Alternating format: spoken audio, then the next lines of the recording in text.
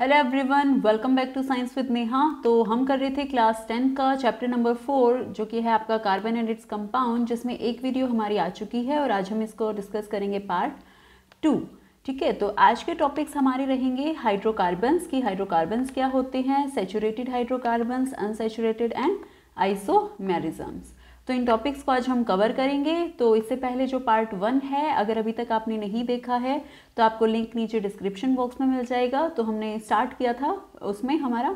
ठीक है कार्बन या उसकी क्या फैक्ट्स हैं या उसकी जो वेलेंसी या क्या इंपॉर्टेंट फीचर्स हैं, वो सब हमने डिस्कस किए थे कैटिनेशन या टेट्रावेलेंसी तो वो आप वहाँ से देख सकते हो। तो चलिए आज की क्लास को स्टार्ट करते हैं। तो टर्म आती है हाइड्रोकार्बन्स की। हाइड्रोकार्बन्स हम किसे कहते हैं या क्या होते हैं आपके हाइड्रोकार्बन्स ठीक है? तो हाइड्रोकार्बन जैसे नाम ही है हाइड्रो हाइड्रो कहाँ से आया? हाइड्रोजन से एंड कार्बन तो वो ऑर्गेनिक कंपाउंड जिसमें कार्बन और हाइड्रोजन होता है, उन्हें हम कहते हैं और हाइड्रोकार्बन्स ठीक है? जैसे आप यहाँ एग्ज़ाम्पल देख सकते हो मिथेन जैसे यहाँ क्या लिखा है? सी एच फोर लिखा है कि एक कार्बन पे चार हाइड्रोजन लगे हैं। अब इसमें क्या सिर्फ़ कार्बन और हाइड्रोजन ही का ही कंपाउंड है तो इसे इन्हें हम कहते हैं हाइड्रोकार्बन्स। या नीचे आप देखें सी टू एच सिक्स ठीक है? यहाँ भी क्या है कि दो कार्बन हैं और तीन और तीन इधर छः हमारे हाइड्रोजन हैं। तो ये क्या होते हैं? हाइड्रोकार्बन्स, कि भाई कार्बन और हाइड्रोजन के ऑर्गेनिक कंपाउंड्स को हाइड्रोकार्बन्स भी कहा जाता है। अब हाइड्रोकार्बन्स आपके दो तरह के होते हैं। पहला आता है सेचुरेटेड हाइड्रोकार्बन्स तो समझते हैं क्या होते हैं सेचुरेटेड हाइड्रोकार्बन्स वो कार्बन कंपाउंड जिसमें कार्बन कार्बन का सिंगल बॉन्ड प्रेजेंट होता है। ठीक है? जहाँ पे जो कार्बन एटम्स हैं, वो कैसे अटैच है? सिंगल बॉन्ड से अटैच हैं। उन्हें हम कहते हैं सेचुरेटेड हाइड्रोकार्बन्स इनको हम एल्कीन्स भी कहते हैं। ठीक है? जो सेचुरेटेड होते हैं, जिसमें एक ही बॉन्ड प्रेजेंट है, उनको हम एल्कीन्स भी कहते हैं। तो एल्कीन्स का जो जनरल फॉर्मूला होगा कि भाई आपको कुछ कंपाउंड दे रखा है, लिखा है, आपको कैसे पता चले कि एल्कीन है या नहीं है? तो या आपको लिखना हो एल्केन का कोई भी फॉर्मूला तो आप कैसे लिख सकते हो? C N H two N plus two ठीक है? यहाँ पे एन क्या है? नंबर ऑफ़ कार्बन एटम अगर हम सी वन लेते हैं एन को वन लेते हैं कि कार्बन एक ही है तो एच आपका कितना हो जाएगा?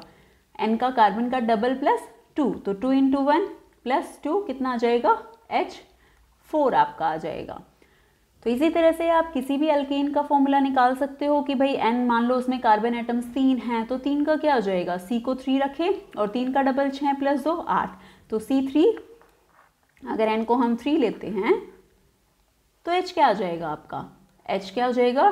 टू एन प्लस टू है आपका तो एन अगर थ्री है तो थ्री टू ज़ा सिक्स प्लस टू एट तो फॉर्मूला हो जाएगा सी थ्री एच एट तो इस तरह से आप किसी भी सेचुरेटेड या क्या कहते हैं उन्हें? एल्केन्स कहते हैं। एक ही बॉन्ड से जुड़े होंगे सिंगल बॉन्ड होते हैं कार्बन कार्बन के बीच तो वो होंगे आपके एल्केन्स यहाँ कुछ फॉर्म एग्जाम्पल्स देख लेते हैं। जैसे एन इक्वल टू वन अभी हमने निकाल के भी देखा। तो वन है तो एच फोर हो जाएगा। अगर एन टू है तो क्या हो जाएगा? सी टू एच सिक्स हो जाएगा। थ्री है तो C three H eight four है तो सी फोर एच टेन और इस तरह से हम स्ट्रक्चर जहाँ भी देखें। तो देखिए, यहाँ हर कार्बन कार्बन में सिर्फ़ क्या है? एक ही बॉन्ड बना है। यहाँ भी इन तीनों कार्बन में देखें हम, इस सी और इस सी के बीच भी एक ही बॉन्ड है। यहाँ भी सिंगल बॉन्ड है, यहाँ भी सिंगल सिंगल सिंगल तो अगर सिर्फ़ सिंगल बॉन्ड इसमें बना है, अगर सिंगल बॉन्ड है तो उन्हें हम क्या कहते हैं? सेचुरेटेड हाइड्रोकार्बन्स या फिर एल्केन्स हम कहते हैं। तो ये होते हैं सेचुरेटेड हाइड्रोकार्बन्स नेक्स्ट आता है आपका अनसेचुरेटेड हाइड्रोकार्बन्स की। अनसेचुरेटेड हाइड्रोकार्बन्स कौन से होते हैं आपके? अब, एक तो पहला तो हो गया क्या? अगर सिंगल है तो सेचुरेटेड बोल दिया। तो अनसेचुरेटेड हम उन्हें कहते हैं जिसमें डबल या ट्रिपल बॉन्ड प्रेजेंट होता है। कि भाई या तो कार्बन कार्बन के बीच डबल बॉन्ड है या कार्बन कार्बन के बीच ट्रिपल बॉन्ड है। तो ऐसे कंपाउंड्स को हम अनसेचुरेटेड कहेंगे। ठीक है? तो ये होंगे अनसेचुरेटेड अब यहाँ भी दो आ गए तो दो हैं तो हम इनको अलग अलग नाम भी दे सकते हैं। जैसे डबल वाले को हम कहते हैं एल्कीन्स और तीन वाले को हम कहते हैं एल्काइंस जो भी आगे देखेंगे। तो सबसे पहले समझ लेते हैं एल्कीन्स को, ठीक है?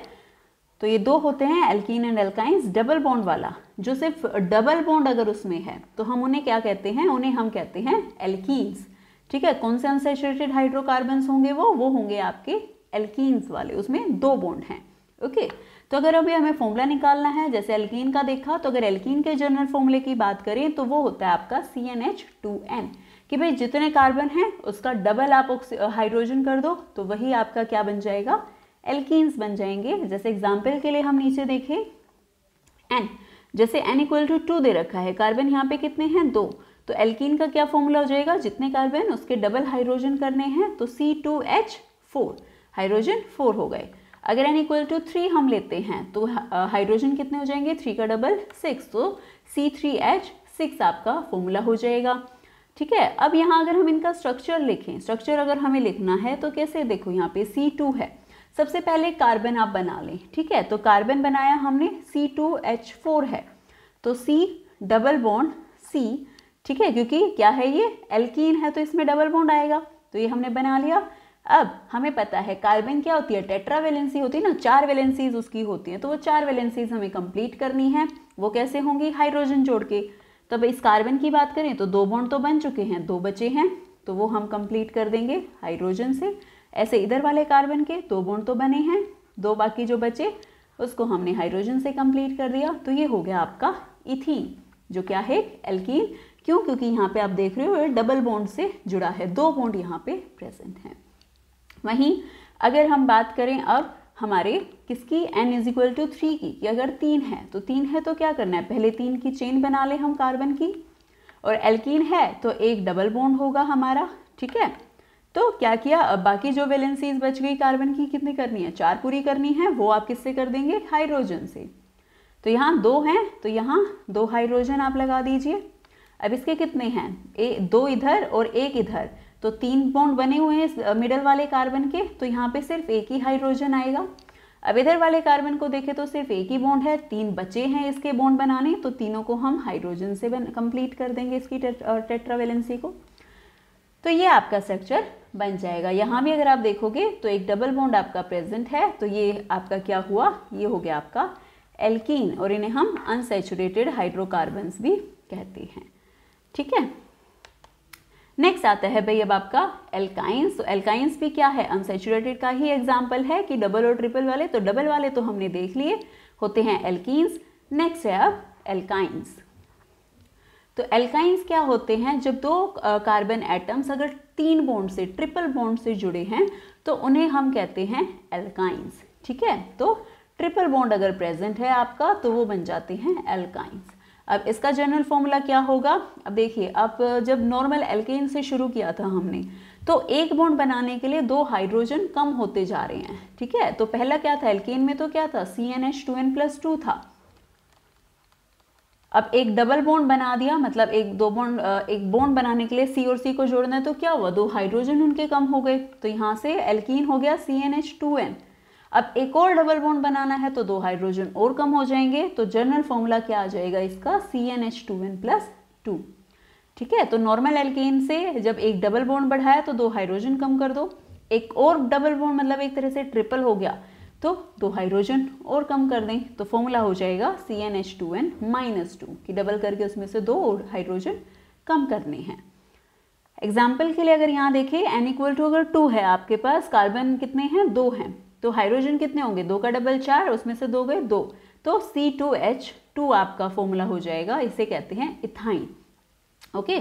तो अगर स्ट्रक्चर को देखें तो भाई सी और सी बनाया, दो कार्बन है तो दो कार्बन बनाए, उनके बीच में ये हमारा ट्रिपल बॉन्ड बनाया। अब तीन बॉन्ड बन चुके हैं ऑलरेडी कार्बन के तो बचा कितना? एक ही बॉन्ड बचा कार्बन का, क्योंकि टेट्रा टेट्रावेलेंसी है। तो वो बॉन्ड कंप्लीट किसने किया? हाइड्रोजन से उसने बॉन्ड बना लिया। तो C two H two next अगर एन इक्वल टू थ्री के लिए देखें, इसको हम प्रोपाइन कहते हैं तो ये हो जाएगा। कार्बन कार्बन बनाया, एक के बीच में ट्रिपल बॉन्ड बनाया। अब इस वाले कार्बन के कितने बॉन्ड तीन इधर बन चुके हैं तो चौथा बनेगा हाइड्रोजन के साथ। फिर, अब जो ये वाला कार्बन आगे कार्बन से जुड़ेगा, क्योंकि एन इक्वल टू थ्री लिया है हमने, तीन कार्बन की चेन है। तो अब इस कार्बन के सारे बॉन्ड कंप्लीट हो चुके हैं, इस वाले के अब तीन इधर हैं और एक इधर है तो चारों बन चुके हैं तो कोई हाइड्रोजन नहीं जुड़ेगा इस पर फिर नेक्स्ट पे आएँगे सी पे तो इसका एक ही बना है तो बाकी तीन बॉन्ड इसके हाइड्रोजन के साथ बन जाएँगे। तो ये बन गया हमारा प्रोपाइन सी थ्री एच ठीक है? तो ये था एल्काइंस की, भाई अगर आपके ट्रिपल बॉन्ड प्रेजेंट है तो। अब एक और ग्रुप हमारा होता है, जिसे हम कहते हैं एल्काइल ग्रुप तो एल्काइल ग्रुप का क्या मतलब होता है? जब आप एल्केन में से, जो आपका एल्केन है अगर उसमें से एक हाइड्रोजन निकाल देते हो, ठीक है? The removal of one hydrogen atom कि एल्केन से एक हाइड्रोजन अगर निकल गया है तो उस ग्रुप को कहा जाता है एल्काइल ग्रुप तो एल्केन क्या था? C N H two N plus two था. तो इससे अगर एक हाइड्रोजन हम निकाल दें तो क्या बन जाएगा? C N H two N plus one ये आपका होता है एल्काइल के लिए. ठीक है? ये बन जाता है क्या? एल्काइल तो यहाँ एग्ज़ाम्पल देख सकते हैं। जैसे पहले क्या था? सी एच फोर था। मिथेन था। अब यहाँ से अगर इस एक हाइड्रोजन को निकाल देते हो क्या हो गया? सी और एच थ्री तो सी एच थ्री हमारा क्या बन जाता है? मिथाइल ग्रुप ऐसे ही हमारा इथेन था, जब टू नॉर्मल एल्केन क्या था? C two H six two का डबल फोर प्लस टू तो एच सिक्स था। लेकिन इस एच सिक्स में से एक हाइड्रोजन हम निकाल दें तो ये क्या बन जाएगा? सी टू एच फाइव और इसे क्या कहेंगे हम? ये इथेन था तो ये हो जाएगा इथाइल ग्रुप ठीक है? तो ये होता है एल्काइल ग्रुप कि भाई एल्केन में से एक हाइड्रोजन निकाल दिया है तो उसे हम कहते हैं एल्काइल ग्रुप नेक्स्ट टॉपिक हमारा आज की क्लास का आता है आइसोमेरिज्म की आइसोमेरिज्म क्या होता है? अब बहुत से ऐसे कंपाउंड्स होते हैं जिनका मोलिकुलर फॉर्मूला तो सेम है, लेकिन उनका स्ट्रक्चर डिफरेंट होता है, ठीक है? कि जो उनका स्ट्रक्चर बना है, जब हम उसके स्ट्रक्चर को देखते हैं तो वो अलग मिलते हैं बट फॉर्मूला दोनों का सेम है। तो उन दोनों स्ट्रक्चर्स को या तीन भी बन रहे हैं तो उन स्ट्रक्चर्स को कहा जाता है आइसोमर्स और इस फिनोमिना को कहा जाता है आइसोमेरिज्म तो ये फिनोमिना होता है हमारा आइसोमेरिज्म और जो डिफरेंट स्ट्रक्चर्स बन रहे हैं वो होते हैं आइसोमर्स एग्ज़ाम्पल अगर हम लें लाइक ब्यूटेन आपका है तो ब्यूटेन में आपके होते हैं सी फोर एच टेन इसके दो आइसोमर्स पॉसिबल हैं. देखते हैं कैसे. अब, जैसे क्या लिखा है? सी फोर एच टेन लिखा है तो मतलब चार चार का डबल आठ आठ और दो मतलब ये नॉर्मल एल्केन है, कोई भी डबल बॉन्ड यहाँ पे नहीं बनेगा। तो हमने चारों कार्बन को सिंगल सिंगल बॉन्ड से यहाँ पे जोड़ दिया है। चार की चेन यहाँ हमारी बन गई है और बाकी जो थे, उसको हमने हाइड्रोजन से जोड़ दिया है। ठीक है? एक मिनट ये हमने हाइड्रोजन से इसको जोड़ दिया है। तो यहाँ देखेंगे हाइड्रोजन हाइड्रोजन और ये हाइड्रोजन से सभी जुड़े हैं। तो इसको हम कहते हैं नॉर्मल ब्यूटेन ये हमारा क्या होगा? ये होता है नॉर्मल ब्यूटेन कि भाई स्ट्रेट चेन में है और अपना जो नॉर्मल स्ट्रक्चर था। अब क्या करें? अगर हम इस एक कार्बन को यहाँ से निकाल के कहीं साइड में, चेन में उसको कहीं पे ब्रांच की तरह लगा दें, ठीक है? जैसे आप क्या समझ सकते हो? जैसे एक तो होता है पेड़। पेड़ का तना है, आपका स्ट्रेट है, लेकिन फिर उसमें से ब्रांचेस निकल जाती हैं।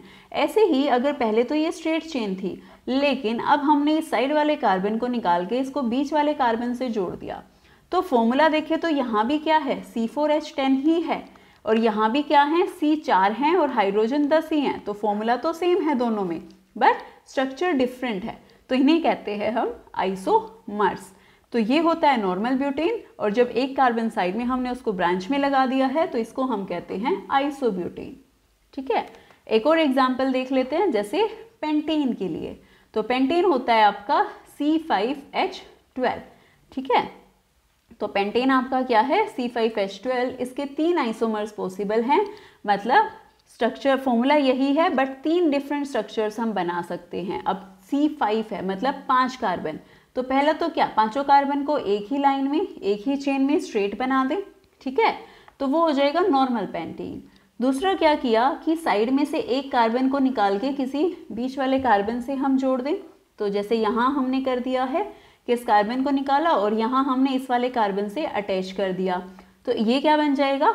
आइसोपेंटीन अब दूसरा क्या है? ये इधर वाले कार्बन को भी निकाल के हम यहाँ ऐड कर दें तो ये क्या बन जाएगा हमारा? नियोपेंटीन। तो देखिए, फॉर्मूला सब में वही है H five C five H twelve यहाँ भी सी फाइव एच ट्वेल्व है बट तीनों का स्ट्रक्चर अलग अलग है। एक में तो सारे कार्बन एक ही लाइन में है, एक ही चेन में है स्ट्रेट है। फिर हमने एक को साइड में लगा दिया, फिर दो को साइड में लगा दिया। जो जब दो को साइड में लगाया, वो उसको हम कहेंगे नियोपेंटेन। जब एक को साइड में लगा दिया, वो हो जाएगा आइसोपेंटीन। तो ये था हमारा आइसोमेरिज्म और उनके अलग अलग की भाई अलग अलग सब्सटेंस के कैसे हम अलग अलग स्ट्रक्चर्स बना सकते हैं और जो डिफरेंट स्ट्रक्चर्स होते हैं उनको हम कहते हैं आइसोमर्स और इस फिनोमिना को आइसोमेरिज्म तो आई होप आज की क्लास आपको समझ आ गई होगी, ठीक है? तो अगर अच्छी लगी हो वीडियो तो please like and share the video इस चैप्टर को आगे कंटिन्यू करेंगे नेक्स्ट पार्ट में तो जल्दी ही उसकी वीडियो आपकी आ जाएगी। तो मिलते हैं नेक्स्ट वीडियो में. Till then bye bye everyone and take care